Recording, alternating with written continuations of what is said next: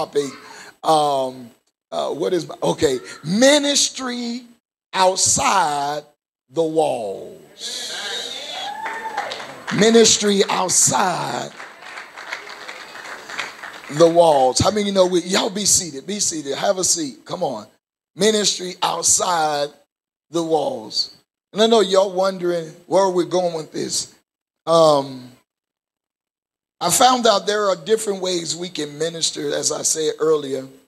And so, as you all know, every year I pull back.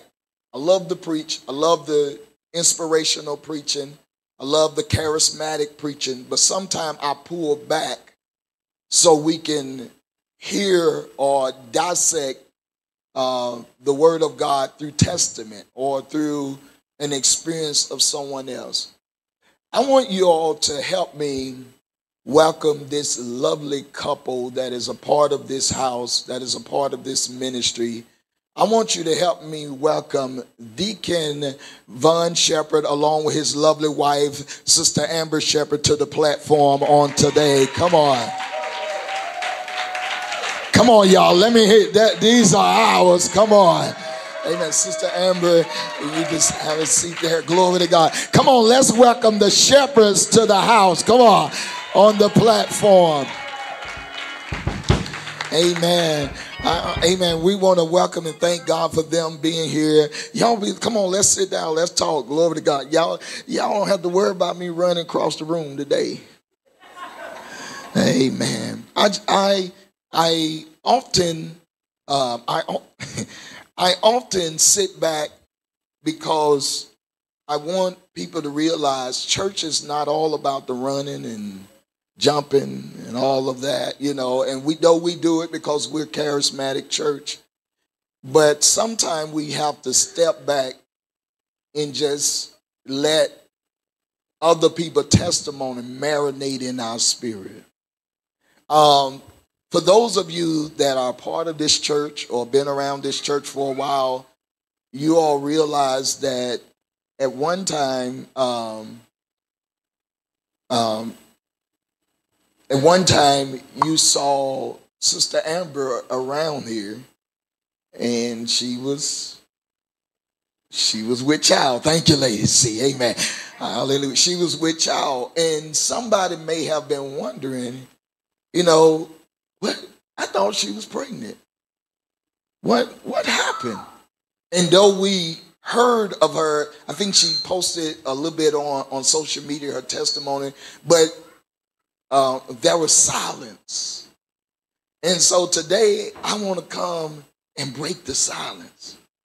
I want to break the silence of what really took place in her life and, and Deacon Shepherd's life.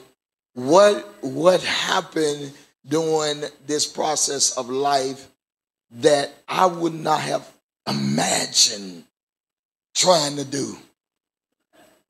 I'm just going to keep it real. Lord, I thank you for letting me minister inspirational and didactically. But this one right here, God, I know that you ain't called me to do this one. And so, welcome, Sister Amber and thank Brother you. Shepherd. Welcome to the welcome to the to the panel on today, and we're so grateful to have you all today. Amen. We're we're grateful to have you today. So, um, um, what I want to do, I want to start off with this um, there is a word or a there is a not just a word there is something that go on called surrogacy. In other words um, first of all how y'all doing?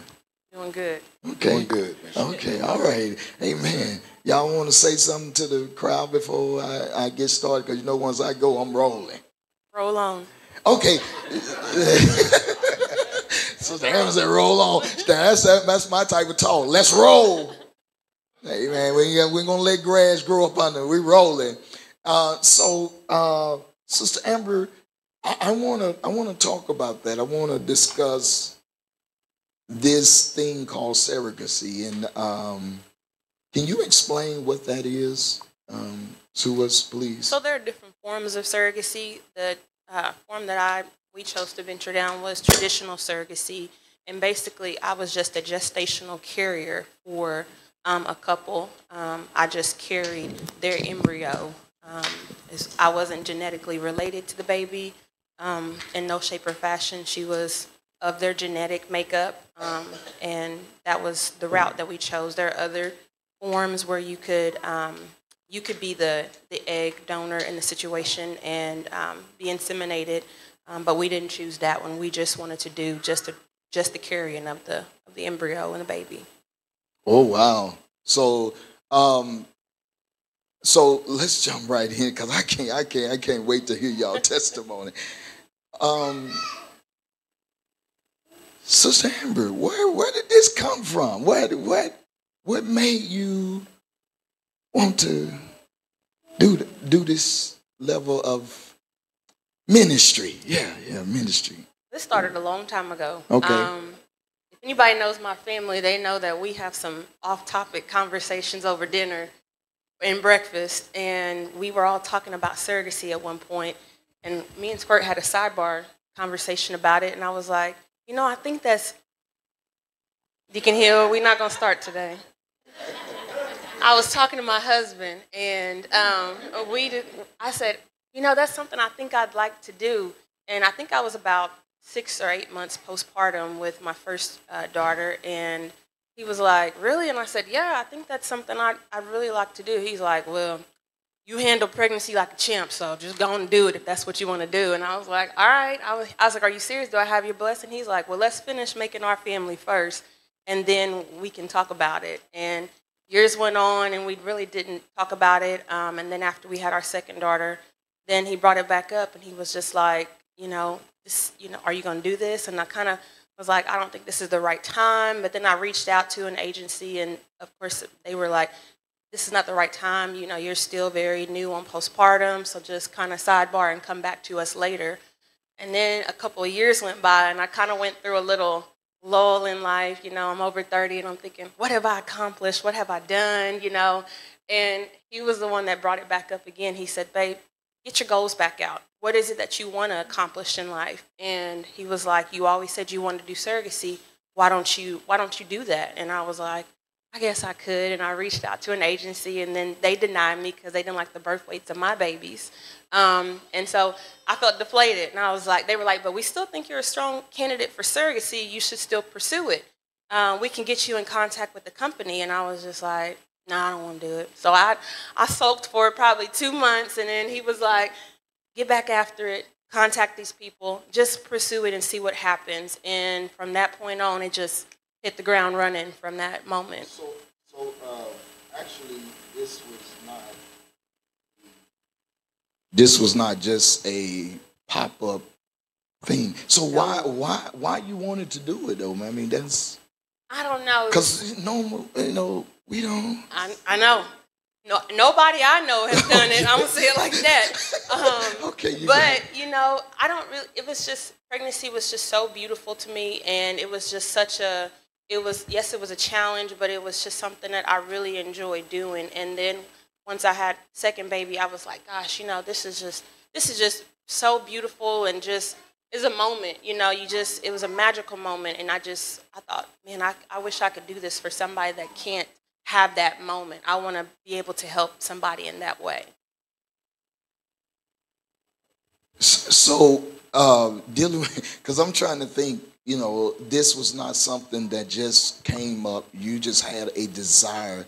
You just had a desire for to help someone. So your desire was to help somebody that Oh yeah. wasn't possible of, Yes. of, of birthing a kid, or mm-hmm. or what? Or do you have more details on? I mean, it was really, yes, it was to help create families. And, you know, you see infertility around you and you wish that you, you, you pray that, you know, Lord, let them be able to make a family, let them be able to have that experience. And for some people, it just doesn't happen. And so, you know, I wanted to be able to be the vehicle by which somebody could build that family. So, yeah, it was, it was definitely a desire. And then it just felt like, the more we talked about it, the more I was feeling led, and, you know, to do it, and it just kind of propelled me from there, you know. And I just really was had to seek God about it for a little while, um, and it just kept coming back up and kept coming back up. And then when he was saying, he was just like, "Babe, this is something I, I really think you should do," you know. He just felt so strong about it, and he kind of was pushing me because I, I didn't want to step outside the box. I was just like, that's that's kind of far out, you know. Even though I have this desire, putting it into action was really hard because I'm one of those ones. I need all the details. I need to know A, B, C, and how we get to D, you know. And so um, it just was very unfamiliar because nobody around me was doing that. And so I was like, I don't have anybody to lean on, but he was like, just go for it. Just go for it. Yeah, nobody around me has done to lead that. And so so, so I'm, I'm, I'm coming to you, Deacon, because I know you. Deacon, you you come home, you putting up your fishing tools and all of that. Where in the world did you get? Because I'm trying to think, man. I mean, we've had our own kids, we've had our own children. I'm done. You know, I even told my wife, "Hey, we you ain't get pregnant no more." So, from a husband perspective, what what made you want to? I mean, well, uh, this is probably going to come to a surprise to a lot of you. Uh, when it comes to pregnancy, like I love it. Like I, when we had our first baby, it was magical. Uh, of course, when we had our first baby, it was you know unexpected. It was magical, man. It was a good feeling. But uh, you know, in, with her in that delivery room, in that moment, I embraced it. I loved it. So pregnancy to me is a beautiful thing, and I embrace that.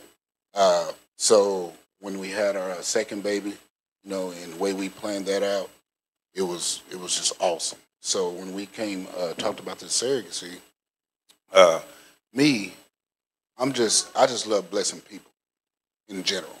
Okay, uh, I can go to a restaurant a drive-through and pay for the next two cars behind me just because. That's just me. So, and I think this surrogacy journey uh, was more on the line of being impactful to someone else's life, being blessing to someone else's life, uh, and me pushing her out there to do that. Because if you know my wife, uh, she's more of an introvert, so she's more of, you know, I don't want to try new things, or I don't, you know, she will, but you really have to push her. Uh, I'm a coach, so um, I, am I'm used to pushing people. So.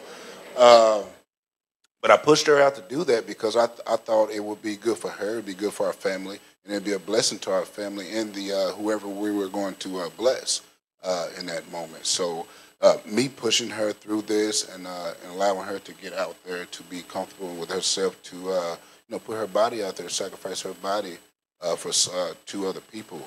That's a big thing for a husband, you know. And I came across some people, man, I don't see how you can let you know, your, your wife do that, man. I can let my wife do that. I said, well, that's not why she's not your wife. She's mine, you know.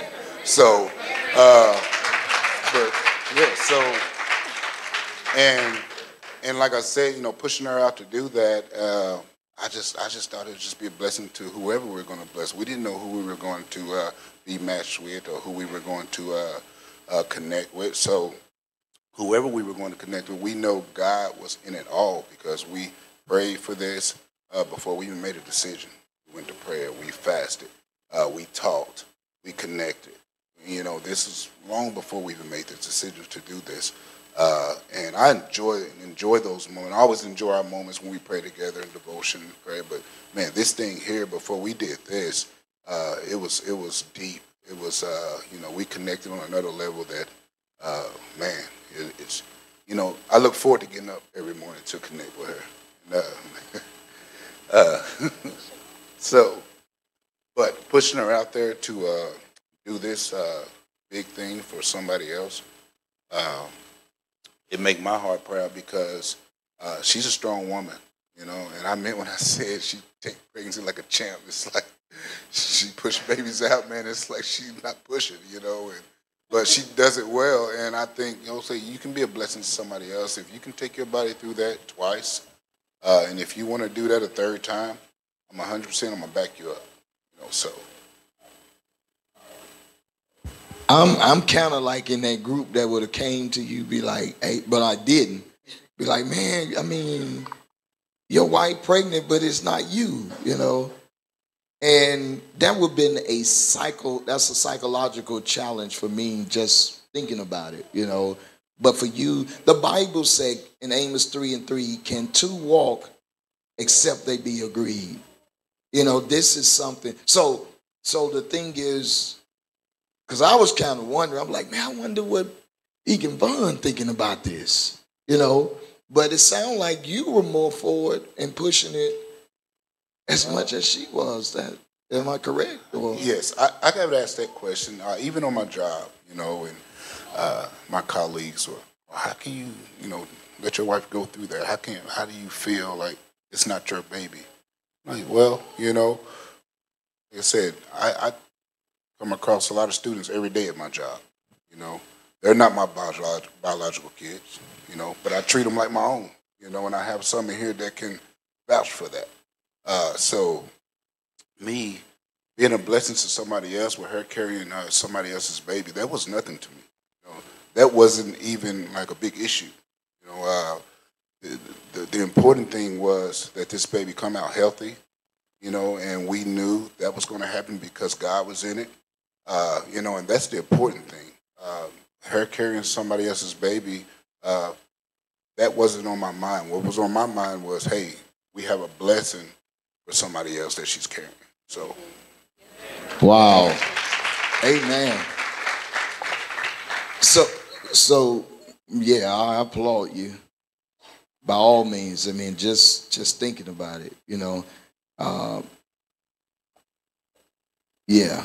So, uh, no, I thought about the part you say you recognize your wife as a champ when she's birthing kids, you know, because every woman body operates different, and to recognize that this is a this is a part of her, of a desire that she had, but you're you're behind it. You're because most men would be like, no, you know, we're not. You know, uh, we're not doing that. So, Sister Amber, let let's talk about. Okay, you came to me, and I was like, you know, I'm I'm puzzled. You know, I said, so what? You know, what's gonna go on? Because I had never had no one to come in my office and say, you know, Bishop, I want to carry somebody else's baby. You know, maybe spiritually, you know, I'm thinking, oh yes, Lord, I'll lay hands on you, go and do it. But but there wasn't none of that. She said, Bishop, I said, Are you serious? Do you remember that day? Oh yeah, I caught you off guard with that one. Yeah, you did. Um, I didn't tell them what I was meeting them about, and I just walked in and was like, "Okay, this is what this is what we feel led to do. We prayed about it, and um, this is where we where we feel God is calling us to go." And of course, you know, I want to, as my covering, I want to make sure that you know I don't bring shame to the church, or I'm not doing something that Mm-hmm. you wouldn't agree with. Um, and so that's why I brought it to you for us to discuss. But yeah, you were definitely caught off guard because I'm sure that came out of nowhere for you. It did, Um, yeah. But you know, we didn't take it lightly. It wasn't, you know, like Deacon said, it wasn't a, a light decision. It was something that we had really sought God about and felt led and um, led to do. So we definitely wanted to. That was the next step was to come to you and make sure that we were we were doing something that would you wouldn't disagree with. and let me let me pause for a moment to applaud that you know because yes come on because there were there there were times when people got it their leadership involved with decisions that they make if people wanted to buy a car they would you know they would contact their leadership hey i'm looking at this car you know or i'm looking at this house and things and so i applaud this is a because you knew this was a very very serious thing and when you came to my office, I was more concerned about. I wasn't concerned about you, Karen. I was more concerned about because y'all know I'm an advocate for mental uh, health, and so I was more concerned about. Okay, Sister Amber, you're gonna be careful. I said, I, I said, you, you know, how are you thinking about? You know, I was thinking about the process of you going through it, and the mental challenge because the ideal can be good. And I found out not in this case, every good ideal is not a God ideal. Right. And I learned that, you know, from ministry. It can be a good idea, but God said, no, don't you put that person over there, you know. And so a good idea is not always a God idea, but you came to me. I questioned you. Actually, I was puzzled. I called Lady C expeditiously. I was like, I said, you can't believe in me, not just. Because I tell her, I say, hey, I got to meet with Sister Amber this afternoon, blah, blah, you know. And, and, and you know, it wouldn't normally she would ask me, no, what was the meeting about? I call her. I'm like, this, I just, you know, I said, I said, this gotta, and I looked at you that day and I said, Sister Amber, I said, this is not just you doing something physically. I said, this is ministry. I said, don't know. I said, I'm looking at it as ministry. You're you're helping a family that can't help themselves. I said, this is ministry. You're sacrificing your body as Jesus did to help somebody to have a story, a testimony. So it's a good idea. But I want to talk about the process. So after we. Sister Sam, I ain't asked you yet. I just, I, I thought that was the end. I'm sorry. I'm jumping ahead. You're rolling for roll real. On, roll on. Good. She, okay. But I want to talk about the process, and I want you to give us the, the details from the moment you decided Okay, after you met with me, after you met with your family, after everything is you've done all your meetings, now it's time to make the rope, you know, put things into action. Let's go from there. So after we got in contact with the company, um, they built my profile to send out to agencies to, to work with. Um, and they were like, well, you can expect a few days on a response from agencies and they'll give you offers based on your profile we had an offer, we had three offers back within a day. Um, and they were all very good offers. Um, but of course, us being really new to surrogacy, we didn't know who these agencies were. We didn't know which one to pick. I, I think I called you and I was like, Bishop, be in prayer with us because we got to make a decision. Um, they want us to take some time to think about it and think it through, do our research. And, um, you know, we prayed about it and um, after a couple of days, we felt led to go with um, an agency, and it wasn't even the the, the highest offer, um, but we just felt really led to go with this agency. And so that's the one we chose. We got connected with an intake coordinator after we made the decision, and we got on Zoom calls, and they started. They built a profile for us, and it was next on to matching with intended parents, um, and then doing our background checks and credit checks and all of that stuff. Um, and once all that came back clean, and then we got con connected and um, they said we we've only got based on your surrogacy profile requirements, which I've you know, as a surrogate, as a new surrogate, I didn't really know. Um, and I'll say this that you should know what you will and will not accept as a surrogate. And one of the things that I did not want was a termination of a pregnancy. Um, and I would not allow them to reduce the pregnancy either. So if I got pregnant with multiple babies, they could they didn't have the option to reduce. And I also wanted the embryos to be genetically tested for abnormalities. Um, those were my requirements, and based on those requirements, we only could match with this one couple. Um, and so they were like, well, do you want to meet them? And I was like, well, let me send their profile over. And I looked at it and I said, yeah, I'd like to meet them. Um, and they sent my profile over and immediately they got back and said they would like to meet with you. And so that was the next step. And then I got nervous. I was like, oh, this is really happening. We're getting ready to meet people. And I remember get you know we were getting prepared. It was like days leading up to it. We had a Saturday Zoom call with them set, and um, our intake coordinator sent over a list of do's and don'ts, and some of those don'ts were conversations to kind of stay away from. And um, so I was like over there preparing myself mentally, and over here trying to coach him. I'm like, hey, you know, when we get on this call, sit up straight, make sure you're using proper grammar. Like, we don't want to come off as sounding country. You know, I was sweating bullets. This man said, babe, they're gonna have to just get to know me. I, I'm, I'm gonna be me. I'm not gonna be nobody else but me. And I was like, well, do you? I'm still gonna use proper grammar. And I sat up straight. I mean, back was straight. I was sweating. But we got on the call, and it was almost like we just knew them. I mean, immediately we started talking, and our intake coordinator, he was there to ask questions, keep conversation going, but he didn't have to say anything. I, I forgot he was even on the call because I mean, we just hit it off and we started talking, and they got to know us, and we got to know them. And I teased my husband because I said, well, him and the him and Mike, which is the dad, I said they had a bromance going on because they just, I mean, they monopolized the conversation. I was like, wait a minute, it's about me. Hello, I'm over here, but um, but they just hit it off, and I mean, we all just connected and cried. I mean, we were just so excited. And we got off the call, and our intake coordinator reached out and said, You don't have to make a decision right away. You know, you can think about this, you got time. Um, but he said, I thought the call went really well. Just let us know what you think. And immediately we responded back with, it's a match for us if it's a match for them. Before we could even get the email sent off, we got an email saying they want to match with you all. And I mean, that was the best feeling. And we connected, we changed numbers, and we talked, and we've been talking ever since. And from that point on, it was then it was legal time, which was contracts, um, and they had to hire counsel for me. And um, I met with the attorney, and she asked some questions. She asked some tough questions. I was like, "Oh, this is getting intense."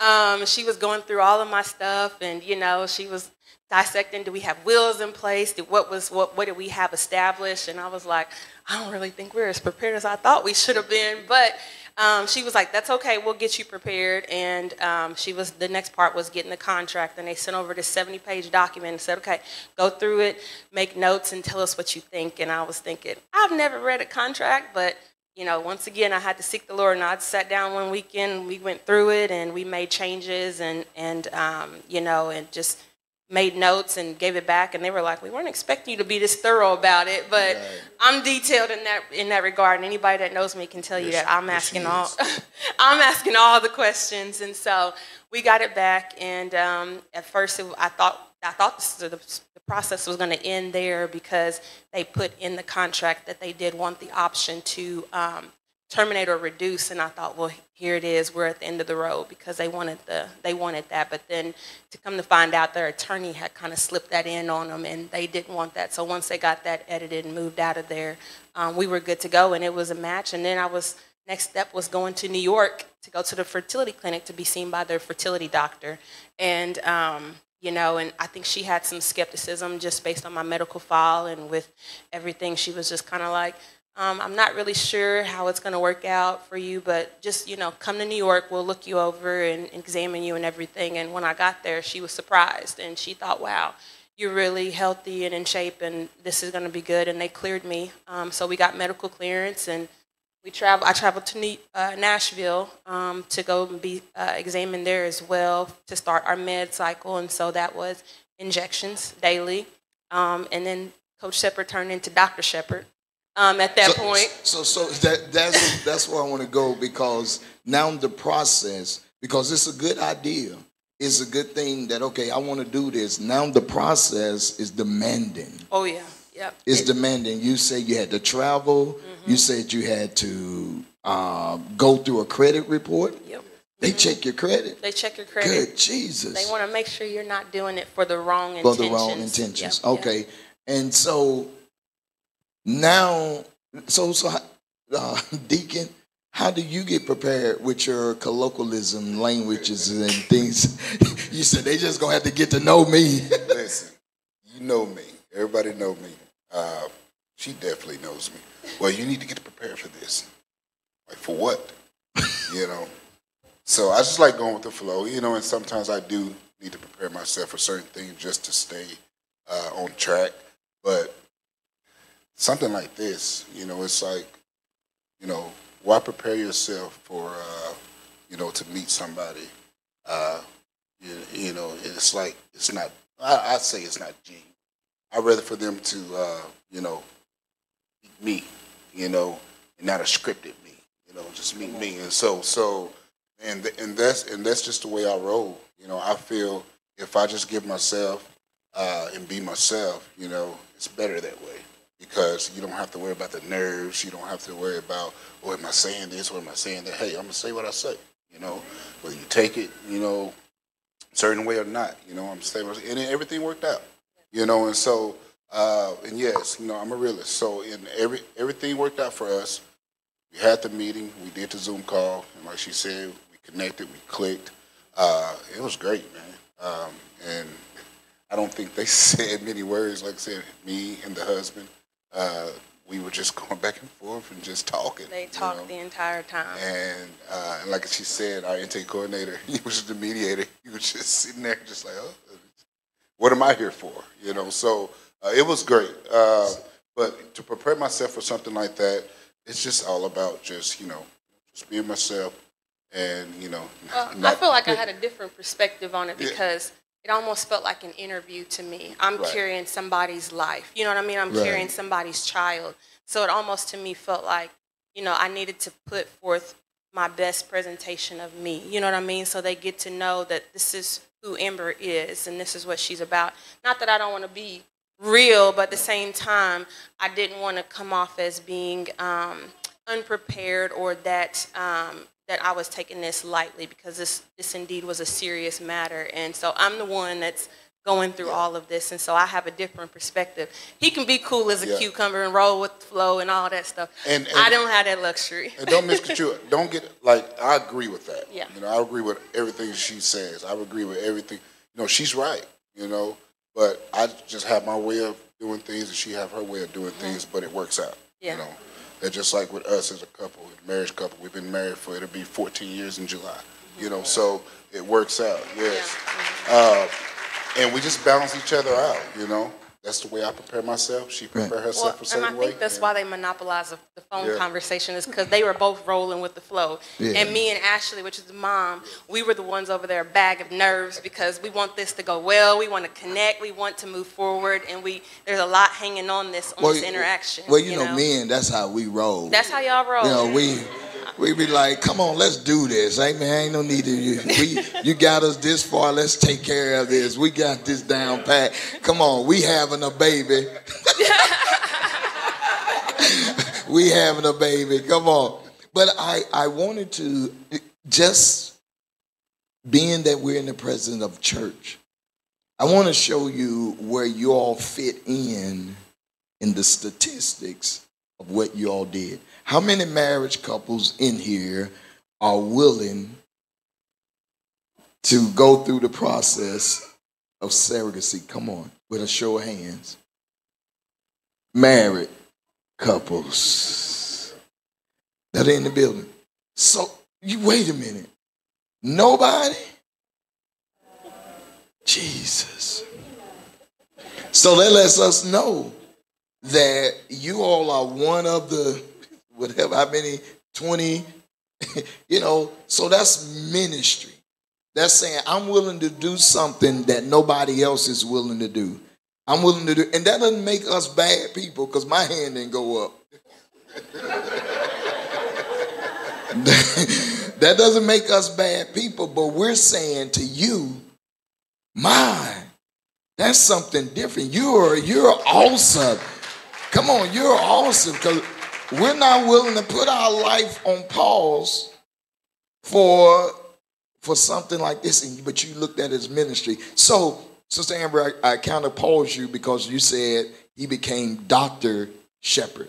Yeah, he became Dr. Shepherd. We had that joke in our house, you know, because every night, you know, I had to take, well, Tuesdays and Wednesdays, and then I took an injection on Mondays and Wednesdays. Um, so there were two on Tuesdays and no, Tuesdays and Thursdays, and then um, one on Monday and Wednesday. So almost every night, I mean, I was taking Yeah. injections, and he would he would be the one to do it. I think we I think we have a photo of of different um, um, needles and process. Uh, media team help us out. I think we have a, where um, there's a needles. I think, amen, that you had to take all the. Um, you had to go through all of these injections Yep. and things of that nature. So And that was just one round because we was- actually went through two rounds of injections. So, yep. see, y'all be scared of one needle. And I was, t- I'm terrified. I don't like needles at all. And I mean, I, that was something I had to brave um, to get started. And I thought, gosh, I really don't want to do the injections, but I didn't want to do oral meds either. I didn't want to have to keep up with all of that. So there he was, you know, giving me my injections. Hope y'all was praying for me. I, I put them through it. I, I'm not going to lie to you. so so I I'm looking at this picture. Y'all see this? I'm looking at this and I'm saying, no way. You know, there. I mean, maybe a two needles, but I'm seeing over 20 needles. Over 20 needles. It was 10 weeks total of needles on our second, when after we got pregnant on the second try. It was 10, 10 Wow. weeks of injections.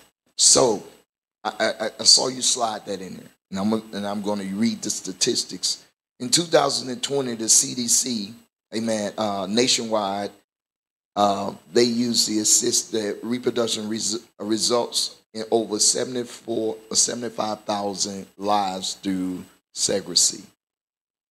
And the demand art, the rising among intended parents. About 2% of all births in the country result uh, from ART. While these successes are very promising, we understand that growing a family is an emotional experience. And, we, and you want to give yourself the best possible chance of having your own child, but that's why the importance of surrogacy has come into place. Now, I'm just going to I'm just going to read something. Uh, in the United States, the success rate for healthy birth is as high as 75%.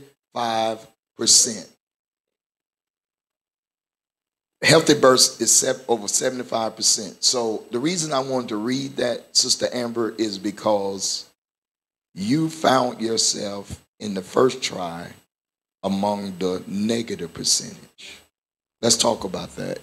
And it, as as much as you want, you desire. Amen. We don't want to. Um, with the first one, it definitely was a lot of emotions because we went into we went to New York full of faith that this thing was going to work out, the Lord was going to do it, you know, and the parents were just kind of like, well, if it happens, you know, that'd be great. And we were like, oh no, we believing and trusting in God. This is going to happen. He's just going to do it. We just feel it, you know, and we were so excited.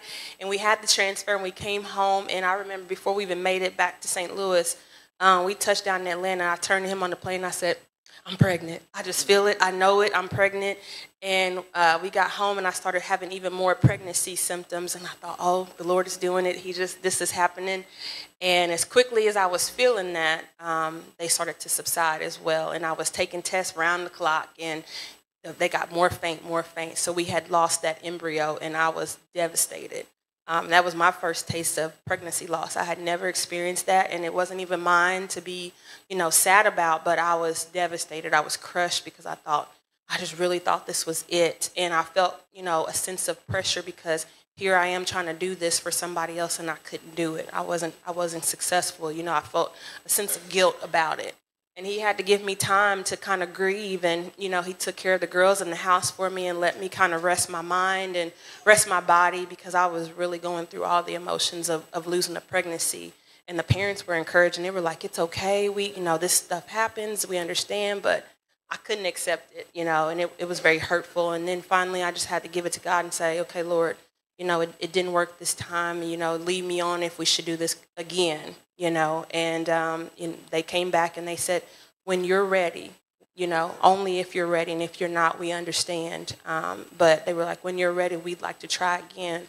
And so they came and approached us, and we um, and I, we prayed about it. And I said, Lord, are we ready to move forward again with this thing? And husband was like, Babe, I think we ought to go forward with this. We already we're already here. We're we're not going to stop now. And so we decided to move forward with the, another transfer. So so Deacon, my goodness, Sister Amber. so, Deacon, you you you're you're confident. You have faith in God. You're quoting scriptures, and everything's going well. You just know God's going to do this. Your wife tell you the it did. How would we say the embryo or embryo? the embryo didn't work. It didn't happen. The production. It did. What effect did that have on you as a man? Well, um, when when she, when we found out the embryo didn't take, uh, she was devastated. So it was I was more being a comforter. I, mean, I had to console her, and, you know, pray for her. Uh, it, it hurt me too because I know you know how much she wants to do this for this family. Uh, but me, as the man of the house, uh, I always had to protect my family, look over my family, cover my family. So in that moment, uh, in that moment, uh, I just had to just take control, uh, give her her space, uh, because mental health is like big to me too, and I and I tell uh, my players that all the time. If your mental health is not good, why are you doing this? You know, so you have to have your mental health intact.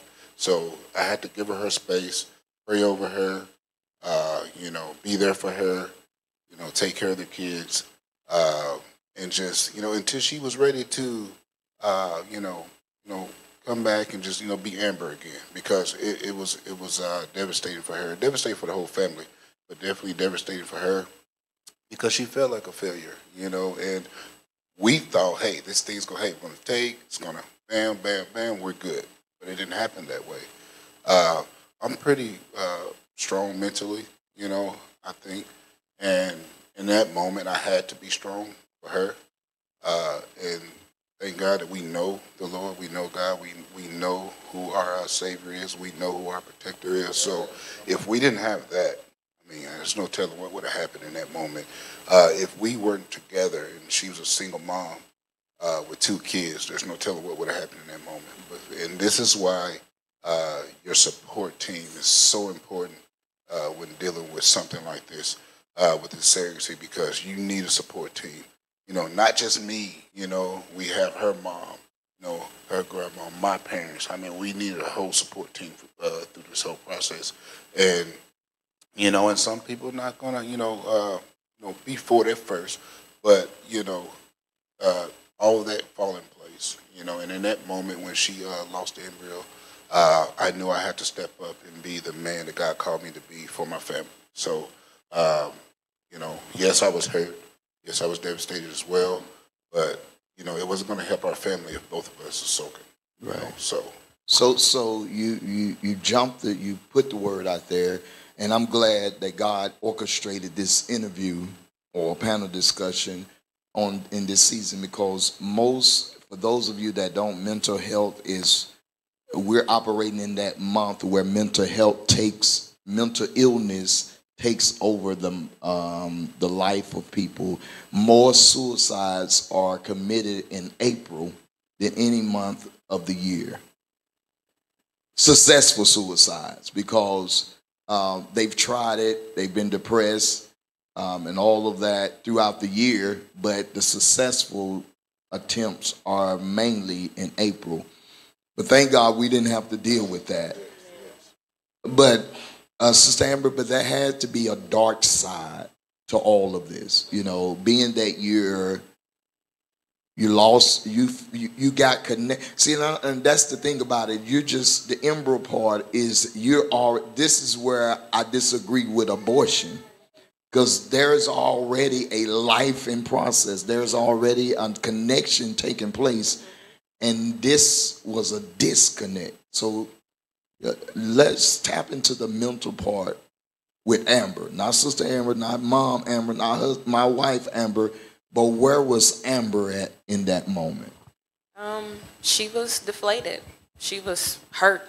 You know, she was just very disappointed because it just felt like like I had failed them. You know, and and I'm one of those. You know, I I like to rise to a challenge. You know, if I'm challenged, I'm I want to rise, and and it felt like I had lost lost something and to, to go through the you know go through the feeling the pregnancy and knowing that i was pregnant and then to in a just a split seemed like just happened so fast to knowing that i wasn't i didn't even i didn't have time to adjust mentally and emotionally and that was that was really tough and i just whenever i get like when i get sad or whenever i get down i need time and that's how I recharge is time away. I need isolation.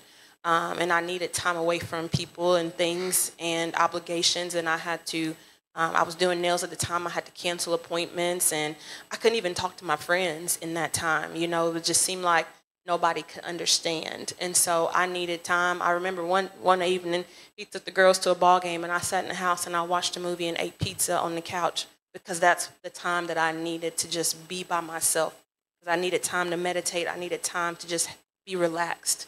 Um, and that's how I re- recharge and refocus. And in that time, you know, just having evenings and, you know, my own isolated time, I was able to recharge and get back up, you know, and stand back up and say, okay, you can do this, girl. You can do this. Stand up. You know, this was this was a knockdown, but you can get back up and you're gonna dust your shoulders off and, and you can do this again. So and then I just felt really led that this wasn't it. This wasn't the end of our story. This it wasn't meant to end that way. Um, and then I had to take that as, and I remember you saying something, you know, about it being a testimony. This is your why. You know, now I have a, a taste of what they've had to go through all these years of trying and all the, the losses they they had to experience over the years. I've never had to experience that.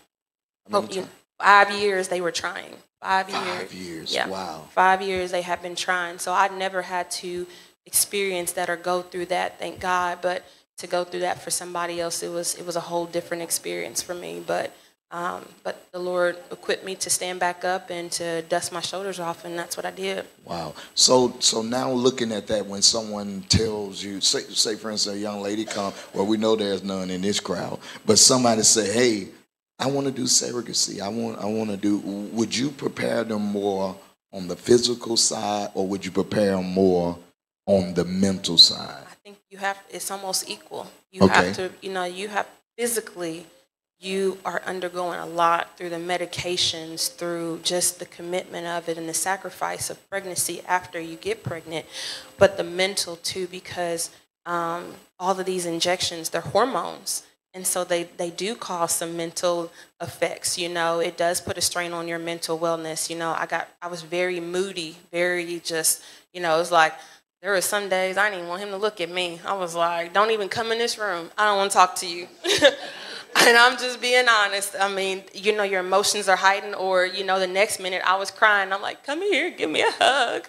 You know, it just felt like the, the sky was falling. You know, it was just, you went through it. So there were days where I would cry. I mean, and there would be nothing wrong. I mean, but I would cry because I was just, you know, hormonally, you're just, you're going through a lot, you know, putting your body through a lot. So there's a physical strain, but there's a mental strain that comes along with the physical strain. So, so we know about postpartum depression. We know about that. So you're going through it now in the process of pregnancy. You're mm-hmm. going through a state of pr- depression Yep. because because one day he Hercules and the other day he's unhercules. Junebug. That's Junebug. who- Junebug. I don't want to see Junebug.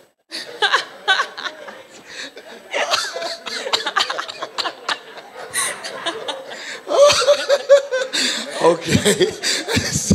Get away from me, bub. Yep. You want to throw spray some raid on him? Yeah. Come Go on. on. So, so I go play with my fishing pole. So, Deacon, you seeing this, you know, like one day hug me. Now get away from me. Come on, rub my feet. Come on, be be husband to me. Then next moment, get out of here. June, but I mean, so what did that do to you? Cause now, now, what- watch this. Now this having an effect mentally on your marriage. You know, it's ministry, but now it's having an effect on your marriage. So, from a male perspective, man's side of that, how, how's this?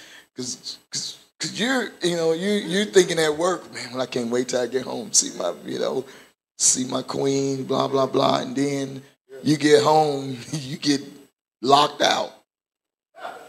Let's talk about that for a minute. You got one minute. So it's tough. All right. Uh, her going through those mood swings uh, when she did, it was literally just like that. Like it's you know she's like I don't know. She's crying. I don't know. I just need to. I said, well, what do you want me to do, babe? What do I need to do for you? I don't know. Just you know, leave.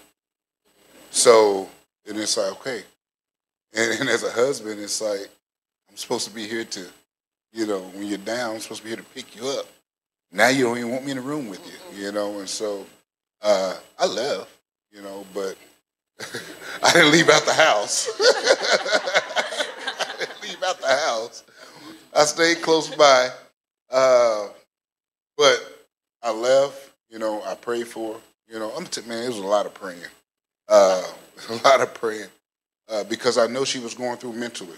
You know, I know she was going through uh, you know, some things, and uh, she didn't want to see me in that moment. So I know if she didn't want to see me, she didn't want to see anybody.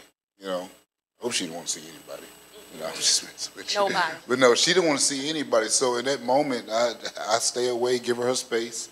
I, uh, you know, and I'm thinking, and you can't take it personal. You can't take it personal because you know, you know it's not you know your uh, your spouse. You know, you know it's not her. You know, it's all the medicine, all the uh, you know the hormones. You know, it's it's messing with the mind. So you can't take it personal. So what I did, I got away. You know, gave her her space. You know, continued to pray for her. Uh, and then there was moments in the same day. I just need you to hold me. I just need you to hold me. okay, whatever I need to do, right? And just roll with the flow, man. You know, and it's like I'm there. I hold her. Hey, you need anything else? What do you need me to do? Just hold me. You know, pray with her, hold her. You know, next couple days or so, it might be something different. You know, so uh, as a husband in that moment, you know, you just have to have patience. You know, and before I got with my wife, and before uh, you know we became you know one, man, I was a I was a very impatient man. Like my patience was real thin. And over the years, it built, you know, being in education allowed me to have patience. And God was working on me before all this. And, and now, you know, going through this with her, man, I'm telling you, patience, man. It got me through because, you know, I, you know, with me not having patience, if I was, my patience was short, I mean, I would probably, I don't know what I would have done. But uh, my, I'm a very patient man. Uh, and I tell people all the time, uh, and, I know this is this is random, but somebody would tell me, well, you know, we'll, we'll be with you in a minute. I'm good, I'm patient, you know. And so in that moment, I was patient with her uh, every time, just patient. I couldn't take it personally and be like, well, she don't want me in the room with her, uh, so I just I'm gonna get in my car, wash my car, and do whatever I need to do, and leave her wherever she, you know. I couldn't think like that. Because if I did that, I know I would have had to hear from her anyway. I would have called you. So, uh, but no, I had to be patient. Uh, I stayed under the same roof as her. I never left her. Uh, but I let her have a moment. And uh, I knew later on that day, a few hours, however long it took, uh, I had to go in there and console her as well. I had to go in there and be, you know, husband, be booby, be squirt, be, you know, Lovey. lovey. Couldn't be Junebug. I, I couldn't be be Junebug. Junebug. I had to go in there and do what I was supposed to do, uh, and it came eventually. Uh, and I was just there, whatever she needed, I was there for. If she needed me to get out the room, get out. I don't want to talk. I don't want to see anybody. I was out. Okay. She needed me to come in there, console her, do whatever, rub her feet, whatever, fix her something to eat. I was there. You know. So, uh, and and you know we had kids. So, you know, in that process, hey, I go spend time with the kids. You know, they most of the time they're doing their own thing anyway. Uh, and sometimes we just did things for her, you know, just to make her feel, hey, you know, we're still here for you. We still we still got your back. You know, through this whole process, you know, at the end of the day, we're your number one fan. You know, we we are the one here for you cheering you on through this. So uh, you just have to roll with the flow, man. When it's like that, Awesome. you have to have patience. Wow. Yeah. So, so, so um, you mentioned the kids. So, how did y'all prepare the kids for? Okay, mom is pregnant, and we're like, oh, excited about it, but uh, mom gonna have to release. So, how how did y'all prepare? That Or- was kind of hard because Okay. they're young, so they don't really understand the whole concept of babies and all that stuff. So that was that was kind of a tricky subject. But I just told you know I explained it to my oldest. You know we want to bless a family, and that can't you know they're having troubles having a baby. Um, so mommy is gonna carry a baby for them, and Alea was like, "Well, as long as that baby ain't coming to this house, I'm good to go." Don't worry about me, you know. But Alexis, of course, she's four, and at the time she was three. She didn't understand, you know. Um, so it wasn't until you know that I was pregnant and there's a visible belly that she's like, "Hey, wait a minute, are we having a baby or what's going on?" And so then I had to explain, "Well, this is not your baby," and it really helped when they actually got to see the parents because at first it's it almost is like a figment of our imagination. We're talking about these people, but they don't know them and they hadn't seen them, and so we got to um, they got to come here to Missouri and see us, and it was like, okay, there's actually two people that are going to get a baby. So this all is starting to make sense now. And so once they got to meet them and become connected with them, then it really all helped to kind of put the pieces together in their minds. So, so hey, awesome. I mean, because I'm like, you know, we have to, even though we're doing ministry, our kids are doing involved with this, Yes. and and that's what people don't understand about pastor kids is they got to go with the role of when we're gone, they're gone. We come home, they come. So. I want to go back just for a minute, and I know we're running, you know, because I'm enjoying this conversation. How many y'all enjoying it? Amen. So, so uh, I want to go back to the mental part. What got you through that phase? Um, I, I mean, I really feel like my strength in God really is. I don't think that if I I wouldn't have been strong in faith and knowing that God was going to perform this miracle, because it just, you know, you just know, you know, God had already promised that this was going to happen. So it was kind of like, I already know it's going to happen. So don't give up now and don't be a quitter and don't don't abort the mission. You know, you say that all the time in message. Don't abort the mission this it's going to come to pass. You're going to have to stand strong. And i really feel like that's what it was. And then just having his support to continue to push me to say babe this is bigger than you. You got to you're doing this for two people. You got to think about them. Um, and that really did help me to, to rise above and to and to pull myself out of that that dark space. Yes sir. Come. Because to add to what she's talking about you know doing the injections you know she had two weeks left of injections, and she got on the to second round. on the second round. Yeah, she had two weeks left, so she got to the point where she was like, "Hey, I don't want to do this anymore." And I was I didn't know how to respond to that because I knew she was you know she was struggling you know mentally she was you know, you know I'm putting a needle in her every other night. And I'm like, I know that can't be fun, especially with someone who's afraid of needles. Uh, so, you know, like, So she going through all this and she don't like needles. At she don't like needles. Gosh. Two weeks left. She don't want to do it anymore. She said, I'm done. I don't want to see another needle. Don't stick me with another needle. I'm done. So, and I'm like, well, babe, listen. So, and I just simply told her, I think the coaching came at me at this point. I said, listen, it's not about you. You know, it's not about you. You have to think about Mike and Ashley. It's about them. I said, we're a blessing to them. You have to think of them.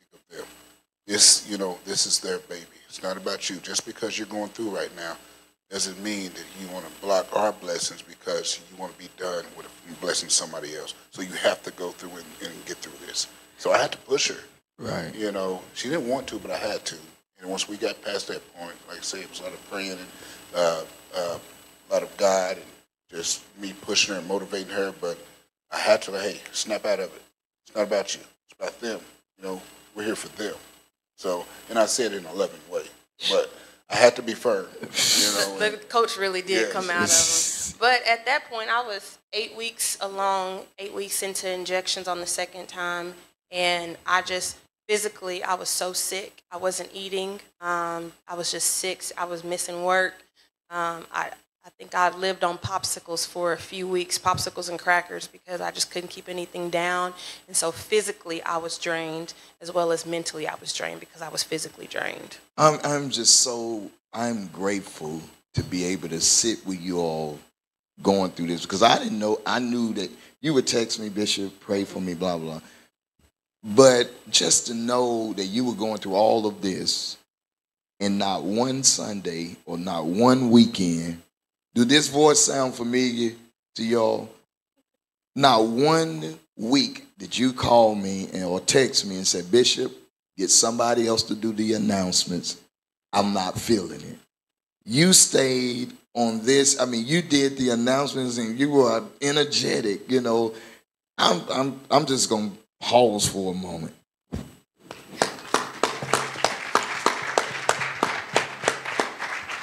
No matter how you were feeling down hearing this, you you were. I mean, you didn't let me down. You know your assignment here. You work behind the scenes, but you're doing a great job doing that. But just to know you were going through all that and still were doing ministry. And you know I am. I'm calling on you, getting ideas, you know, things of that nature. So I I'm just how people give up when they're going through. This is a living testimony right before us. That we don't give up, amen, even though we may not be feeling it. And I know that we have different illness in the body, but she kept doing her assignment. Now I remember one text, I remember one text out of all this. I said to you, I said, Sister Amber, I said, God told me to tell you, you going through this process is going to be an encouragement to the other family. I said, you're going to build their faith. Their faith is not on your the level right now, but I said, but God is going to allow you to build their faith. How did that transpire in your relationship? you know, they're in our relationship with the parents.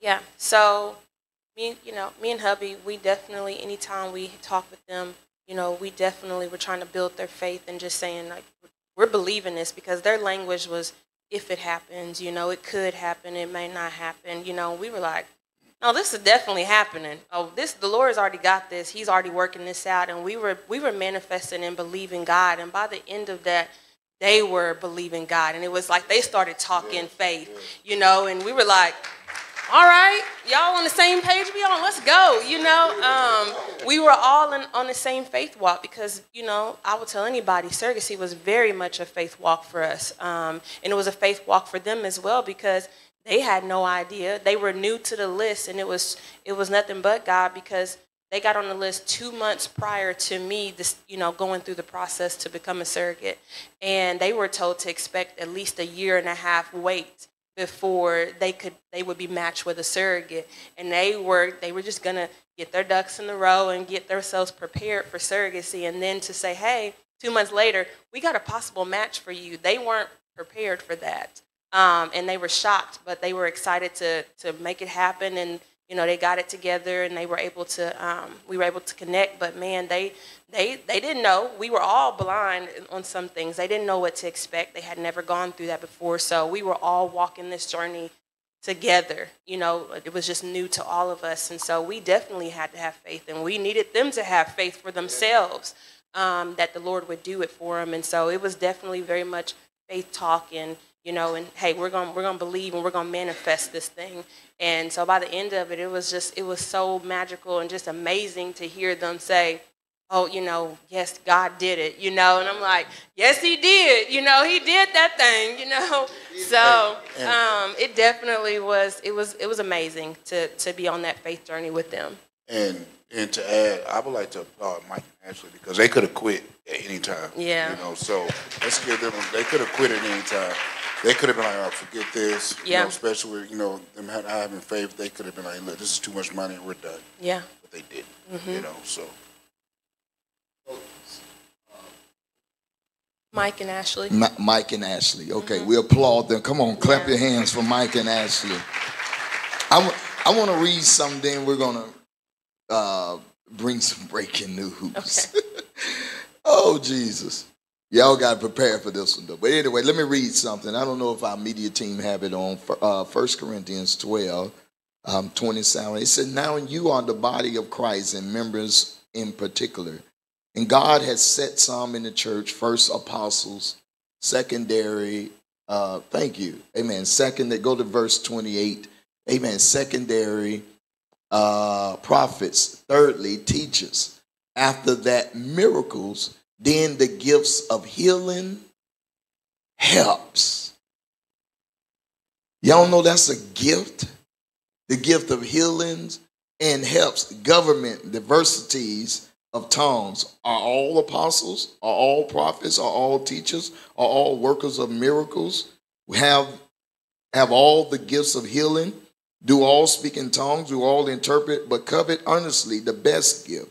And you show unto, and, and, and ye, and yet show I unto you a more excellent way. So she, God is saying that you're, so y'all are operating in the gifts of um, helps, and it brought forth healing.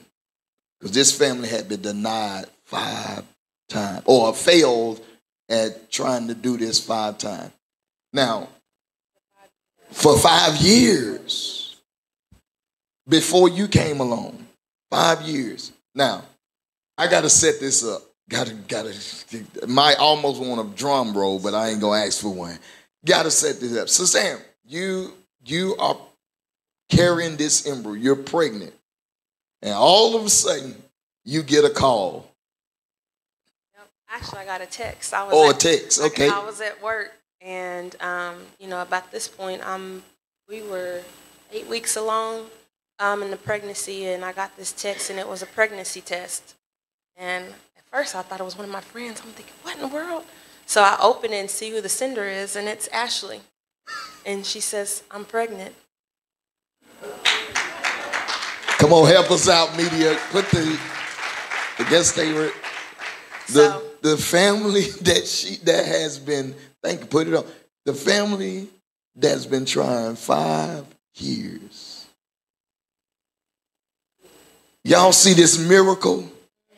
What I just talked about, this miracle taking place after five, now all of a sudden she's pregnant. What are the odds? Glory to God. Now we got now y'all the men got a different conversation. both of our women, both, both our wives pregnant. So so with that being said, my God, how did what did what did it do for y'all family? What did We were so excited, so excited. I, I mean, I, I screamed. I was at work and I screamed, and everybody was looking at me like, "What is going on?" And I'm like, "Ashley's pregnant." You know, I just I couldn't I couldn't believe it. You know, Yeah. and I guess I shouldn't have been shocked because I remember you saying that. What are they gonna do when they get pregnant? I'm thinking, well, what two babies? And I was like. I thought, what an odd question that Bishop just asked me. What they gonna be happy? What I mean, what else they gonna be? They gonna have two babies. But I never, I didn't think about your question in that regard. But when she texted that and I saw it, I just screamed. I just couldn't believe. I was running around showing everybody. I call her and she's just like, I can't believe this. Like I'm so excited. And I was like, girl, that's nothing but God. I mean, nothing but God. What a miracle. And so we got to walk a pregnancy journey together. You know. Oh, yep. I got I got the text. Yes, I got the text. She sent me a text message. I was in class. I don't know what I was doing this particular time, but uh, when I got the text and I saw that, I was like, "What?" Real loud in class. My student was like, "Coach, you good?" I was like, "No, I'm fine," and I just couldn't believe it, you know. And uh, but when I saw that, you know, my heart just filled with joy. I was like, "Wow!" I said, "It's nothing but God there." You know? So it, it was awesome. It was awesome. Wow. And and that was the dynamic. Um, I I remember we had the conversation through text, and I was saying, I remember I said was the same. sometimes you know, God would do miracles. We experienced it, you know, in a way, but but I was saying, you know, for some reason I kept seeing this other baby, and I, I wasn't saying you're gonna go through it two times, but I just kept seeing this other baby, and I, I mentioned it to you. I said, what happened? So y'all excited about her pregnancy, and so now y'all got to prep them for another baby that they gonna get. You know, not only you gonna have a baby at the hospital, but we're gonna bring you a package too.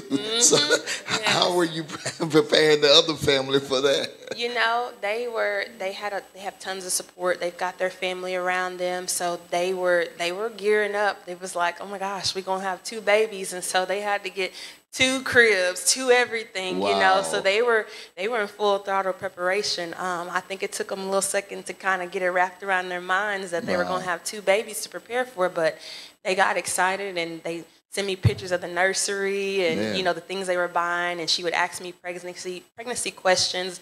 It was nothing you know uncommon for her to send me a text through the day that says well what did you do about this? or what do you think about this? you know and um, those were good moments that we could share. Or i'd be like well let me call you whenever i get off work because i got to tell you about such and such and to be able to share what i was going through and what their baby was doing um, and then for her to be able to tell me what she was experiencing and ask me questions about motherhood and just pregnancy in general. So that was it was a bonding moment for us for sure. So, so Sister Amber, Brother Shepherd, Deacon Shepherd, I'm sorry.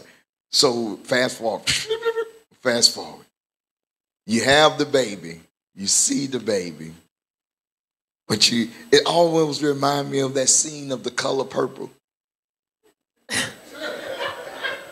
I'm sorry, y'all. I gotta didactically bring this to you You know the story to of the converted girl have the baby, then all of a sudden her dad come in there, but I tell nobody but God, you know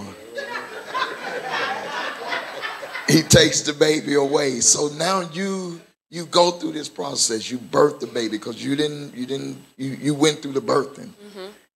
and, and you hold the baby, and you realize I gotta gotta let this baby go. So what? How explain that? I mean, just that Yeah. moment. Um, I think you're hormonally. I was just so overjoyed that the baby was here. She was healthy. I was healthy, and we didn't have any complications. And just to see the looks on their faces, they were so happy. I, I'm telling you, there is nothing that compares to that moment and being in that room with the four of us and this baby, and just even the nurses and the doctor, and everybody's just so they're just excited about your journey and just you know that you did this and to be able to do this and for them to say i've never seen this before this is never i've never been experienced something like this it was a moment but then to know that now I gotta, you know, I gotta give this baby, this is their baby, and I've gotta hand it over, and they're gonna leave at some point. I think that was the hardest part of it was knowing that they were gonna leave, and I wasn't gonna get to spend much more time than I had with them. Um, and that baby, she knew Odette knew our voice, um, you know, and we would talk, and she would turn her head. I remember one moment I was holding her, and you know, hubby was standing across the room, and he said something, and she turned her head to find his voice, and it was at that moment I thought wow, she, you know, you know babies know your voice, but she's like, she knows our voices. And so that was just, it was a moment even then holding her. And then when they got ready to leave, you know, we got teary eyed. They came to the house and said their goodbyes and um, we had dinner and stuff. And seeing them leave and pull out of the driveway, that was, that was hard, you know, not giving, get, you know, because I, I equate it like this. The baby is almost like you're borrowing something. You know, it's never yours. You're just holding on to it for a short time. And that's how I equated the pregnancy. You know, it's like you go in with the condition in your mind that this baby doesn't belong to you. You know, you're just carrying this life for them. And then for them to, and then you see Ashley and she's pregnant and all of that. So you know that you know, they're coming together as a family and they're going to be a family of four soon. You're excited for them, but it definitely was hard to see them leave because it's like a part of me wanted to have more time with them and the baby um, before they went home. But, you know, it, it worked out the way it was supposed to and that, you know, our time was over. And I think that was the hardest thing for me to accept. It's like you spend so much time anticipating and praying and covering for them and covering the baby in prayer and, you know, having that, you know, that pregnancy time that it was like, well, what's next? I think that was the hardest pill for me to swallow. It's like, well, what do I do now? I spent all this time preparing and being pregnant, and now the baby's here, and we've made it to this moment, and now it's over. So that that was a mental battle and a mental struggle for me. Um, and then for them to leave on top of that, that was that was tough. Dad, I mean Deacon. it it was tough uh, because I was fine through the whole process. Uh, Odette was here. and I think, like I said, when they were leaving, I, I remember I remember asking her, "Leaving today? Like they're right. gonna be gone?" Right. She said, "Yeah, they're leaving." I said, "Oh, mm-hmm. I thought," and I, and it hit me. I was like, "Well, they're they're gonna be gone," you know. So yes, it's very emotional, uh, you know, to see, you know, because going through that whole ordeal with her, that process, man. You know, even though it has ups and downs, it was everything was awesome about it. Everything was great uh, in that moment with them leaving, uh, I think it really hit us, you know, and we were like, well, they're gone now, you know. And like she said, okay, what do we do now? And it was different. It was different, you know. They were gone. Now it's us again, you know, our family, you know. And it, we go with the flow type of family, but it was different because now we don't have, you know, Odette is not here. Uh, she wasn't pregnant anymore and now we have to go through this postpartum thing of pregnancy, you know, and it was different, you know. It was it, we had to adjust again. We had right. to, you know, kind of hit the reset button. Yeah. You know? Find so, our new normal. Yes. Yeah. Find a new normal. Yeah. Mm-hmm. And, wow. And I remember uh, Mike asking me in the hospital, "Hey man, uh, now you you have a successful guy, you know, good dude asking me." what I do? How do I be a dad? I said, I think I had to, I prepared something that he asked me, and I was like, man, you don't. I said, man, the baby's here. I said, you guys will be fine. I said, you just go with the flow. You right. know, you would know how to take care of this baby, you know. And I remember that moment, we had, you know, and I think they were all across the room, and he asked me that, and, and I remember that. I said, hey, man, you don't. You just, you just take care of yourself. You know what to do right. uh, when you're taking care of your, your kids. I said, so just go with the flow. I said, we're here. We're phone call away, you know. So just you guys are going to be fine. You know, so uh, I remember wow. that. Yeah. Awesome. My goodness. Um, I know I'm wrong, but we, we were at that time. But uh, what was the, the little girl name? O- Odette. Odette. Amen. And we have we have a few pictures of her. I mean, we just uh, we get we did get permissions from the parents, and you get just go through a few of the pictures, media team, and just uh, there she is, first newborn. She's how old now? Eight months. And watch this, y'all. She's all she gets. She's just a big.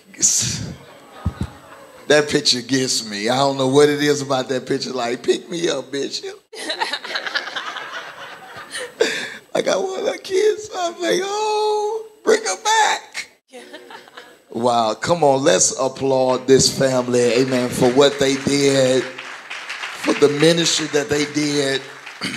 And and and out of all of that, you know that you went through this, but God, God has blessed the shepherds. He has been a tremendous blessing to, to the shepherds, y'all, you know. And and, and the, on top of this, Sister Amber, yeah, it would sound like Sister Amber is, is spoiled, but she's not. She's lovely. I was protecting her. I was you know, I was like, Sister Amber, you know, you don't have to do so. But Sister Amber called me, hey, Bishop, we go and look for a house during a pregnancy, Sister Amber. 10 out of 10 don't recommend doing that. I wish you would have stopped me and said, don't do it. I said, Sister don't Amber, y'all sure? Yes. Maybe you need to wait, you know. And I, I kind of alluded to. I didn't want to break. She was geared. She was oh, ready. Was she ready. was, and I, I was in my, my, my mind. I was like, maybe she need to wait, you know, and things of that nature. But God bless you all with a new home. Yes. Amen. Come on, y'all. Amen. He bless. He bless you all with a uh, a nice home. He bless you all. Amen. Um, so there are other blessings. I mean, y'all just testify about your blessing. Amen. Before we got pregnant, you got the head coaching job at Sikeston. Oh, head coach. Mm-hmm. Glory yeah. to God. Yeah, he walked into that interview and he knocked it out, and he got that job, and then we were going through the process and the Lord was opening the doors for surrogacy. It just seemed like everything was just running so smoothly and we were connected with, you know, the family and everything went well. And in the process, we were looking for a home and, you know, we had our heart set on one house and it just seemed like every obstacle that could come up was coming up. And my feelings were crushed because I wanted this house so bad. And um, I remember telling you about it, calling you, Bishop. I really want this house. I don't, you know, I really, I, we really want to move forward with this, but the seller is just, she just wasn't willing to compromise or negotiate with us, and so we had to walk away from that one. And it just seemed like every house we looked at from that point on, it just didn't didn't pan out. You know, we would offer over asking, they still would say no. You know, it was just little things like that, and it just seemed like you know it wasn't the time. And then the minute we, we said we were going to stop looking because it just wasn't right, um, that's when um, I actually had a dream about the house. I saw this house in a dream, and then I would say within the next two weeks, um, I, it popped up. And it was just seemed like out of nowhere. And I was the first one to look at the house. I remember leaving work and I called him. I said, I'm on my way to this house to go look at it. I said, it just came out of nowhere. And I went in and I thought, this is the house that I saw in the dream. And um, I turned to our agent and I said, I'm ready. And she was like, You ready to leave? And I said, No, I'm ready to offer. Let's let's move forward. I'm ready to go, you know? And um, he accepted our offer immediately. Nobody else got to see the house, and we got to we got to buy it, and we closed. And so the report is, you all have the house. Mm-hmm. Amen. They have been blessed with such a one and and it would be that deacon would send me pictures of, of the house amen we have a, a photo of the house amen just as just to let you know that god blessed them amen y'all see his little grass ask questions, he tell me, and I just try to apply. he can send me the picture. I say, I see your little grass. Amen. But we not only that, but recently something big has happened for you, yes. Sister Amber. Yes. Amen. Uh, what happened? Um, so my, my boss came at the beginning of the year, and I remember um, I was journaling on January 1st, and I wrote the year of the, the open door. And I just, I told him, I said, I just really feel like God is getting ready to do some big things. I don't know what it is, but I just feel like some doors are going to open, you know? And I get back from vacation, and my boss said, I need to talk to you. And I was like, okay. And I went in her office, and she goes, I'm gonna step down from my position. She's like, me and my husband are gonna sell our house and we're gonna um, we're gonna move to our property um, out in the country on the river. And I was like, what does that mean? And she was like, that means you need to apply for my job. And wow. at first I toyed with it. I was like, I don't know. And and husband and, and my mom were like, girl, you be crazy not to go for it. And I did, and, and I got the position of regional retail manager. Hold up, y'all. Hold up. Amen. Can we celebrate Sister Amber? Congratulations. You're the regional. Amen. We celebrate her success. Come on. Amen. Oh, y'all ain't making no noise. Come on, celebrate it. Amen. So we congratulate you and we congratulate not only that, amen, but I got some news this weekend about Deacon uh, Shepherd. You you mind sharing some information? God just been blessing y'all. Amen. Yes. We, I I I Well, don't know about uh, the doing the sacred, but I want the blessings. I, I don't know. I was just sitting, you know, at school, you know, in my classroom, and I get this text message from one of my colleagues, and uh, you know, and he said, "Hey, you know, uh, you know, he wanted me to send you this message because, you know, you were one of the coaches that's nominated for Impact Coach of the Year." wow. And so I didn't know, I, I didn't know where it come from. I was like, whoa, you know. And so I said, this is awesome. You know, I'm very humble about it, but I'm like, this is pretty awesome. So I was talking to uh, one of my coaches yesterday, and uh, he said, man, that's big. He said, I won it two years ago. And he said, this is really big. He said, congratulations. I was like, oh, okay. You know, so I'm, I don't know how big this thing is, but to be nominated, and I know I'm, it's probably going to be some good coaches uh, that nominated in this uh, category. I said, but I was feel blessed to be nominated for this. Uh, Yes. because there's you know with coaching you know there's up and downs uh, you know to coaching and uh, you know you go through you pray you you know you you go to a point where you're like hey am I supposed to be doing this and, and after blue I get this text message of uh, you know of this this uh, this information and you know and it was just God telling me hey you know I got you you you doing what you're supposed to do so I appreciated that so yeah so Yeah. yeah So so how how do I mean how do you get voted as the impact? So, uh, Impact Coach of the Year deals with, uh, you know, on and off the court. You know, not only coaching on the court, but off the court, uh, your players, impacting, uh, you know, players, you know, about God, walk with God, and, uh, Right. you know, and, and things like that. So, I guess somebody saw something in me uh, to nominate me for this uh, award. And I'm grateful for it, and I'm thankful for it. So, yeah, you definitely impact on and off the court. Uh, and of course, we put God first. I put God first, and uh, and, Yes. and and I'm not going to say this just because she's here, but I really do appreciate one of my players being here. You guys know Faith is one of my players, and uh, it, it, it, yes, and, and, and, uh, I heard of her. Yeah. and it blesses my She heart alright. that she's around. Yeah. You know, because, you know, and she see, you know, everything that happens with the team, with the coaches and in her walk and her journey with God right now. It's like Wow. with her being there, we connect at a different level. You know, and, I, and I and I like that. I love that, and uh, and I appreciate her for what she's doing. You know, and so uh, and but I'm telling you, man, it's it's it's uh, it's, it's amazing, and and I will talk to you after we church faith over some things. But yes, I appreciate her and this award. You know, been impactful to you know your players on and off the court about your walk with God, about you know uh, your faith and you know praying and things like that. So somebody saw something, you know, and uh, I, I appreciate that and I'm grateful for it. Awesome. Uh, so so how do we do we vote or or we just to, next week about this time? I think it's at six p.m. We wanna we wanna show up at the Miner Convention Center to let them know, hey, we up in here.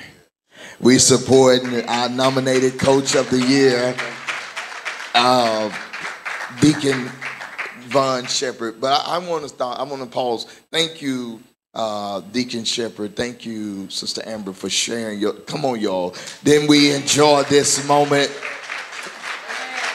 I want to. I want to thank you for sharing the story as much. We're going to share this with different people.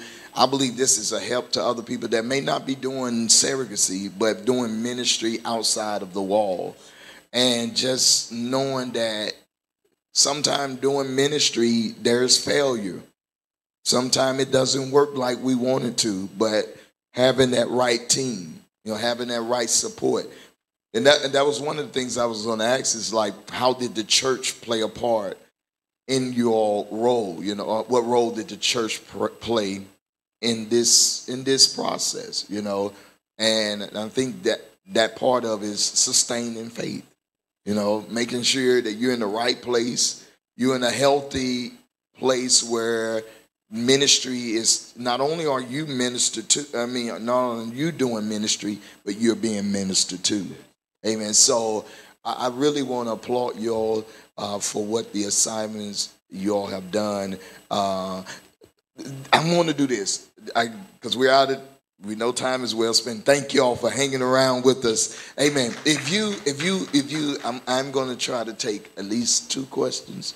Amen. Two questions. If you have a question, amen, let's get them a mic expeditiously. Amen. We, we have two men. Oh, Jesus. Glory to God. No, Dickie, you wait. Glory to God. Come on. Come on, Brother Klein. Amen. We want to, come on, quickly. We're going to ask them a question. Uh, how many of you really enjoyed this? Come on, how many you glad this happened? Yes, sir. Yes, sir. Yes, uh, I was just curious. Uh, number one, I had two questions. How do your kids accept the baby? Um, and do you and do they spend any time around the baby? Well, the the family lives in New York, so we don't get to see them. So once they once they left, um, that was that was it. Um, we just see them through Zoom and and things like that. But the the kids know that um, they just they think of her as just Odette. You know, she she was in my belly and we carried her, and they know Mike and Ashley. So at this point, they're family to us. They're just extended family. Well, uh, another next question is: uh, Were you attached to the baby when it left? Um, How did it bother you? I think hormonally, um, it'd almost be impossible not to be. But after the fact, after I get back home to my kids and my family and my surroundings and my environment, you know, it after my hormones kind of settled down, I was I was pretty good mentally there. Um, I didn't feel a strong sense of attachment. Everybody asks me, "What do I? How do I feel?" And I think the best way I can equate that is, I feel like a proud aunt. You know, she's not mine, um, but she's a part of me. So that's kind of how I revere her as, you know, as a proud aunt. And, you know, she, and I still say, that's my baby. You know, I call her my baby, but um, I don't have a strong sense of attachment in a motherly way, but, you know, but a familial way. Yeah, that was very godly of you. Yes. Thank you. Thank you. Thank you, sir. Amen. All right, next question. Got to be in line with what's going on, Deacon. hey man, let's receive the thank Deacon Hill. Well, this is not my question, but Faith wanted to know, would y'all do it again? Um, and I've been asked that several times. If the Lord led me to do it, um, I definitely would do it again. Um, it was a, an amazing experience, and you know, even though it was a sacrifice and all of that, um, it still was amazing, and I definitely I would love the opportunity. I don't feel like that's where the Lord is leading me right now, especially with taking on a promotion at work and things like that. But if he if he opened the door, I'd walk there in for sure. Um, to add to, I really do think uh, that we were put on this earth to bless that family. Mm-hmm. Wow. So. Uh, wow. Not saying that Wait, we won't make that statement again. Yes, that's that's I, powerful. Come I, on, I, say it. I think that we were put on this earth to bless that particular family with this blessing uh, because I'm not saying we won't do it again because it's up to her, but it's up to God.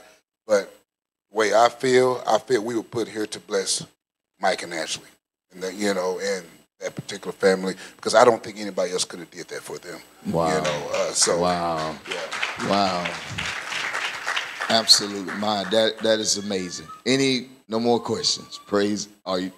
Did anybody have they, they have a question online? Okay, I guess not. Amen. But we're we're so thankful. Uh, uh, I think the baby is trying to let us know she glad about this interview as well. So, but we're we're grateful. Let us applaud applaud the shepherds one more time on what God did through them. Amen. We want to thank God for our deacons. We want to thank God for everybody in place this is what I want to do. I want us to I want us to think about because this was my assignment today was to talk about ministry outside of the walls. And you may be in here and you're all watching online and you're wondering, do my ministry count? If it's done outside, inside, or outside of the church, it counts. But ministry, what I do on Sunday morning is only a small percentage of what I do throughout the week. Y'all hear me? So me being up here preaching for the, you know, for the, uh, you know, for the time I up here preach, whatever the five minutes y'all give me, that's a small portion of my ministry. Uh, being outside into the community. I said something to somebody I said something to the group of guys last night. I said, My ministry doesn't need my title, ministry needs my time. Ministry doesn't need my title, it needs my time. Because I can have the title, but not taking out the time. And so I said, This is the hour. This is where I am right now. I'm going to spend time in those places doing ministry that other places, other people want spend time in. And so, like Sister Amber gave her body, Deacon Shepherd gave his service because he became a servant to his wife that gave her body to help another family. That is a tag team. Come on, somebody. So you might not understand their level of ministry in that, but it was ministry for another family. They have a story. The other family has a story. You know, so ministry is about pulling somebody out of a situation, empowering them when they can't do it for themselves.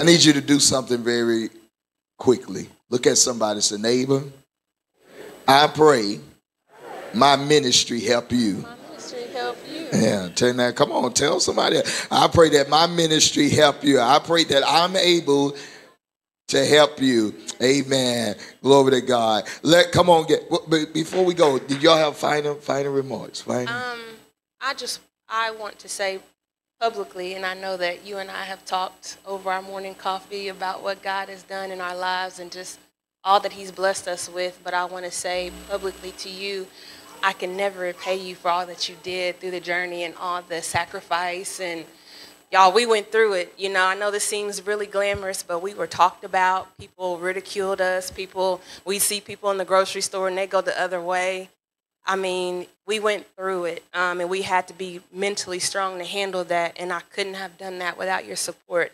I couldn't have done that without you holding down the house and taking care of me and being there to encourage me and lift me up.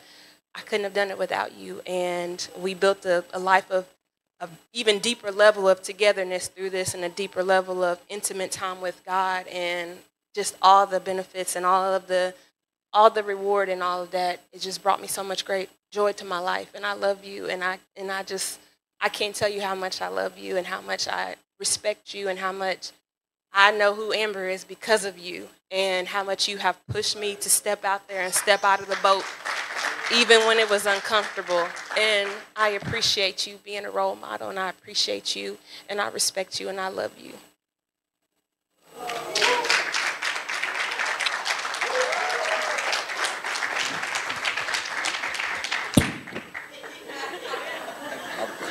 You back Hercules.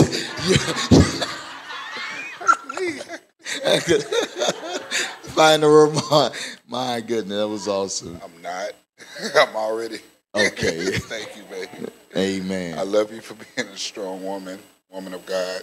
I love you for sacrificing for not just for me, just for sacrificing yourself for you know everybody that comes in your presence. Uh, you know, and I, I I just thank you for that, uh, for being a great mother uh, to our kids, a great wife to me. Uh, you know, it feels good not uh, knowing that you know you don't. I don't have a wife that hey, I always have to look. What are you doing? What are you? No, we don't have that. You know, and we, we genuine love. Uh, we tell people uh, what you see here is what, we, what you see what we what you see at home. You know, we, we Wow. don't put on a show for anybody. Uh, like I said, we just go with the flow. You know, and I'm a kid at heart, so I know I get on her nerves sometimes. Uh, with me with the kids now, we have you know a four-legged uh, friend in the house as well. So, uh, but she put up with us, and and she's a very strong woman, a great woman of God, and I know God has more for her. Uh, I can see her going higher and higher in the Lord in her walk, and you know, and I'm going to be her number one fan. I love you uh, for everything you do, baby. Wow. That's a love story and a blessing. Amen. Let's thank God for the shepherds one more time. Let's thank God for them. Um, I'm gonna do this. Amen. Um, I ask you all who would be willing to go through this process? And none of y'all didn't raise your hand. None of you all. They didn't know I wanted to do this, but I want to do something special for the shepherds because their testimony blessed me, their their story blessed me, and I want you all to help me in this effort. I want to send them, I want to do something for them to just go and I can feel the romance up here. I'm all I'm trying to slide out the way, but I got to stay here. But I I, I want to sing you all, want to sing you, be able to sing you all for just just a weekend for y'all because this is because we are rewarded for ministry, but we want as a church to reward you all for a weekend. You know, of course you got to be back for Sunday, but but just no, just mess with you. But I really want to do something for the shepherds. They they could have hid and say, Bishop, I don't want to share this story with you. I want to share it with the public. But it helped. Did it help anybody today? Did it help anybody? And so we we want to do something special. We want to send them on a weekend, probably whatever y'all choose, send you off and let you just enjoy each other. No kids. No kids. I'm sorry, Alea. No kids. Alexa, I know you're going to get on me. No kids. But just you all alone. Don't they deserve it? Come on. Don't they deserve Come on, y'all. I need some help in here. Don't they deserve it? So, so I, I know, I know we're getting ready to leave and we're getting ready to uh, cut off. But I'm going to I'm going to put the basket down here, or you can, if if this bless you, because this, as we bring in ministers to sow, I mean to give us a word, we bless them. If this bless you, because it surely blessed me, I want to sow into their lives. Amen. They have a strong church family. Come on, somebody. I said they have a strong church family. And so I want to, I want to, if you're giving on Cash App, just put the shepherds, don't, amen. Uh, put the shepherd family, or give, or put the, uh, yeah, just put the shepherds, glory to God. Or, amen, if you're giving in the house, we're coming from wherever you are, we're coming, we're giving, we're sowing into them. We want to love on them. Come on, we're loving on them. Amen. We're sowing on in their lives. that they won't have to worry. They'll be able to go and enjoy themselves. Amen. Is that your mother? Amen. We want to thank God for mom being here. Amen. Mother being here. The Sister Amber's mom is in the house, y'all. Amen. We want to thank God for it. Come on, clap for her. Clap for her. Amen. Amen. I'm so, you want to come and hug mom and dad or that's one of the daughters. Amen. Hallelujah. But we're sowing you're watching live and we just wanted to bring ministry to you in a different way. We're standing all over the building. We're standing all over the building. Now if you're here and you said bishop i want to be saved. I don't want to leave this building without giving my life to christ if that's you you say i want to be saved. I want to be saved. Hallelujah. I want to be saved I understand we do ministry different sometimes. And sometimes we have to sit back and just say, you know, let's let's let's hear somebody testimony. Let's hear somebody testimony. Or you're here today and you say, you know what? I gotta join this church. Hallelujah. If that's you, you say, I gotta join this church. I want to be a part of this church. If I want to be a part of this church, you're viewing us online. Amen. We love you. We thank God for you. Amen. If that just, you know, you just you just know you want to be a part of what God is doing. Oh, he's coming to join. Okay. Hallelujah. Amen. Glory to God. He's coming to join on today. Amen. We have time for that. Glory to God. Hallelujah. Amen. Hallelujah. Another man coming into the ministry. Amen. Another man coming into the ministry. Amen. I'm just going to ask you a, a, few questions. Amen. And we're, we're going to go from there. Glory to God. Amen. Thank you, Mother. Glory. Amen. She's good? Okay. All right. Hallelujah. Uh, Terry, uh, as a member of this church, we pray you're going to obey. Oh, come on. Amen. Jump on in.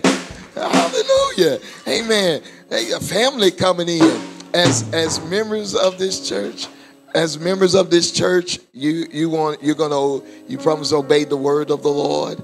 Amen. You promise to follow where my wife went. Glory to God. You promise to follow leadership as we follow Christ. Amen. You promise you would give as God give it unto you, and Amen. Uh, you promise you would love these wonderful people. Amen. Hallelujah. And, well, by the power the power invested in me and my lovely wife in this wonderful church. We want to welcome you to the best family. That's the Purple Church. Come on, y'all. Come on, make some noise in this house. Amen. We want to welcome. We want to welcome you. Thank you for choosing new direction. Come on, y'all. Let's love on them. God bless you, man. Mississippi is in the house, y'all. Amen. Mississippi is here. Hallelujah. We're standing all over the building. We're standing all over the building. Hallelujah. Shortly after we dismiss, we're going to meet with our auxiliaries. It, it, it, won't be long. Glory to God. And we thank God on today. We thank God for you. Hallelujah. Hallelujah. Come on, let's clap our hands. If you, amen, you're in the building, you know that God is so God God is so God, and we thank Him for everything that He has done. Father, we thank you for this day. We thank you for who you are, what you are to us. Now, God, as we depart from this place, we thank you for the shepherd family. We thank you for the family that they were able to be a blessing to. God, I pray that those that view this moment of testament, God, a testimony, that they would sense, God, your presence and your approval on everything that you're doing in this moment. Now, God, as we depart from this place, but never from your presence, that you will keep us and guide us. Thank you for your grace. Thank you for your mercy. In Jesus' name we pray. Thank you for the new family that has joined this church, God. We thank you for that, God, and for what you're going to do and we'll forever give you the glory, God. We'll forever give you the praise. In Jesus' name, amen. Amen. Love on somebody before you leave. Tell them I love you and there's nothing you can do about it. Love on somebody.